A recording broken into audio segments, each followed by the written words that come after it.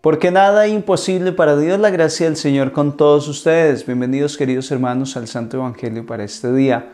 Hoy nos encomendamos a la intercesión de San Joaquín y Santa Ana, los abuelos de Jesús. Recibimos la palabra de Dios en el nombre del Padre, del Hijo y del Espíritu Santo. Amén. Espíritu Santo, ilumínanos y santifícanos. Ven Espíritu de Dios y regálanos la gracia de tu amor, de tu presencia. Ven Espíritu Santo y haz nuevas todas las cosas en nosotros.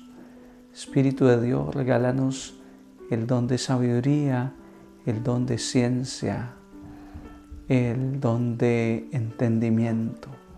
Que podamos hoy abrir nuestro corazón al Santo Evangelio para que pueda transformar nuestras vidas. Amén. Les comparto, queridos hermanos, el Evangelio de San Mateo en el capítulo 13, versículos 36 al 43. En aquel tiempo Jesús dejó a la gente y se fue a casa. Los discípulos se le acercaron a decirle, acláranos la parábola de la cizaña en el campo. Él les contestó, el que siembra la buena semilla es el Hijo del Hombre, el campo es el mundo. La buena semilla son los ciudadanos del reino. Las cizañas son los partidarios del maligno. El enemigo que la siembra es el diablo. La cosecha es el fin del tiempo y los segadores los ángeles.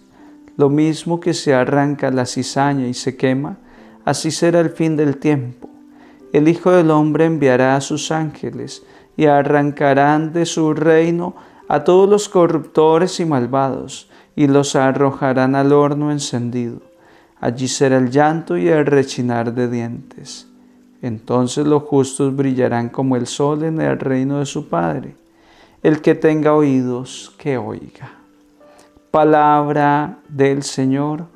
Gloria a ti, Señor Jesús.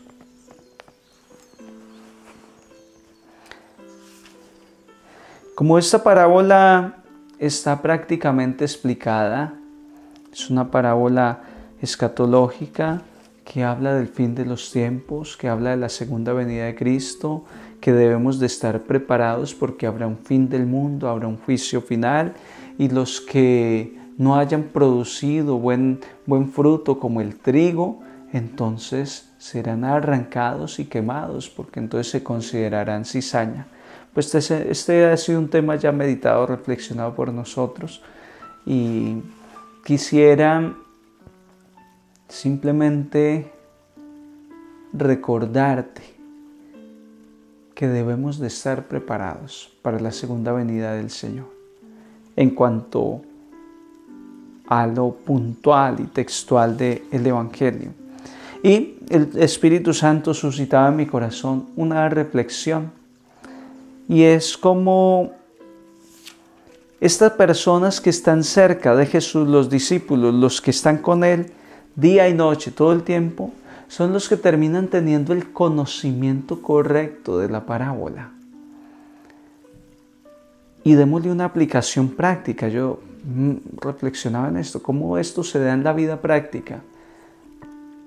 Y he llegado a la conclusión de que la persona que está en la iglesia, que está en el grupo oración, que no se pierde actividad en la iglesia, que está muy comprometido con Dios, que sigue su evangelio diario por, por estos medios, que ve su Eucaristía también digital y después va al templo también a la Eucaristía, que está bien empapada, es la que termina conociendo los misterios de Dios. Porque no sería lógico que alguien que nunca va a la iglesia, que alguien que nunca le dedica tiempo a Dios, tenga más conocimiento de la fe, del Evangelio, del cristianismo, que el que mantiene ahí. Hay personas que son ocasionales en la fe. De pronto porque falleció alguien van a la iglesia, porque hay un bautismo, porque lo invitaron a ser padrino en un bautismo. Son personas ocasionales, pero yo estoy seguro de que una persona de esas no podrá tener el mismo conocimiento de la señora que toda la vida ha ido a la iglesia ha escuchado tantas homilías y ha estado en tantas actividades de evangelización. ¿Por qué reflexiono esto? Porque pienso que a ti y a mí hoy el Señor nos está llamando a ser como los discípulos. El discípulo no es alguien ocasional, no es alguien que llegó porque Jesús multiplicó panes y peces y le está dando a todo el mundo. El discípulo es alguien que está con Jesús todo el tiempo. Yo hoy siento un llamado al discipulado. Recuerden que en este canal y en la red de intercesión católica estamos haciendo un proceso de discipulado bien bonito. Estamos formando discípulos en el ámbito de la oración con la escuela de oración de la red de intercesión católica internacional y la escuela de discipulado en el proyecto Multiplicadores de la Gracia. Son dos proyectos en los cuales estamos llevando gente al conocimiento de Dios, a acercarse más al Señor. Pues hoy yo te animo, te aliento a este camino discipular. No te quedes allá en la orilla, no te quedes siendo el católico ocasional. En esta época no se vale simplemente ir a misa y volver a casa para los ocho días volver a la iglesia y vivir ese cristianismo y catolicismo acomodado. No, esta época ya no da para eso. En esta época el Señor quiere gente comprometida. Una persona que en esta época apenas se limita a escuchar la misa los domingos, está fría. Está todavía lejos de lo que Dios quiere de su vida. Porque esta es una época que exige compromiso. Esta es una época donde el mundo nos exige razones de nuestra fe y tenemos que dar razones de nuestra fe.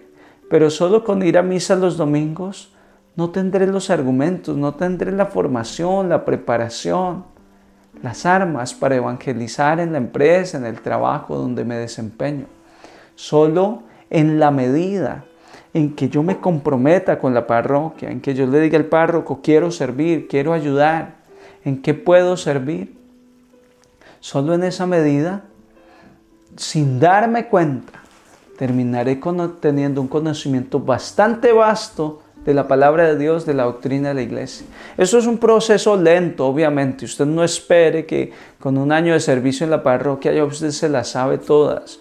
No, los cursos de la iglesia van pasando, un curso bíblico, un curso de evangelización, de misión, un curso de oración, una catequesis, una predicación, que vino un predicador, que hubo una actividad.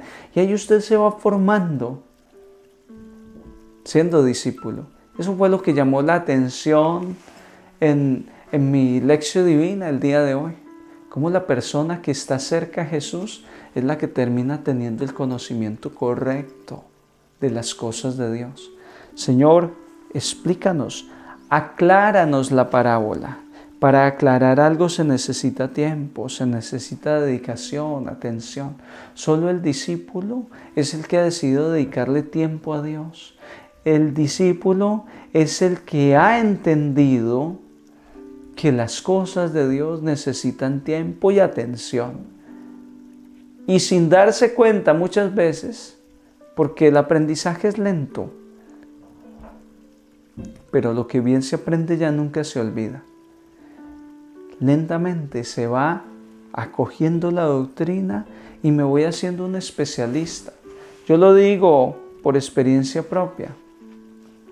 Hay temas de predicación que se me dan bastante fácil, porque los he dado tantas veces, porque he vuelto a leer sobre ellos, porque he meditado tanto sobre ellos, que fluyen con bastante facilidad. Y hay otros temas que no tanto. ¿Por qué? Porque he estado más expuesto a determinados temas que a otros. Así las cosas de Dios. Entre más lea un evangelio, entre más escuche hablar de una parábola, más elementos aprenderé, más cosas estaré recibiendo en mi vida, en mi corazón, en mi existencia. Así es como el Señor hoy lo propone para cada uno de nosotros. Dios quiere enseñarnos más, pero necesita compromiso. Si eres el que dice, yo no necesito estar metido en la iglesia todo el tiempo. Si eres uno de los que critica a la esposa porque la, la esposa anda en varios grupos y está yendo a la iglesia varios días a la semana, qué equivocado estás, porque ella te lleva ventaja, porque ella ya se está quedando después de la predicación de Jesús para preguntarle los detalles. Hermanos, tenemos que entrar en esa sintonía, en esa sintonía de estar caminando todos los días, día y noche. En esta época me parece inconcebible un católico que piense ser un auténtico católico de ratos, de momentos. El catolicismo, el discipulado tiene que ser a mañana, tarde y noche. Si estoy en casa, soy discípulo. Si estoy en el trabajo, soy discípulo. Si salí a viajar, sigo siendo discípulo.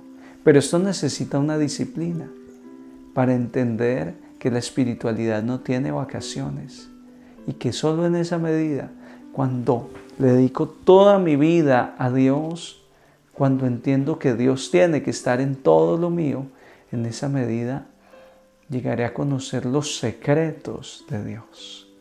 La gracia del Señor esté con todos ustedes, queridos hermanos, y les bendigo en el poderoso nombre del Padre, del Hijo y del Espíritu Santo. Un santo día en el Señor para todos.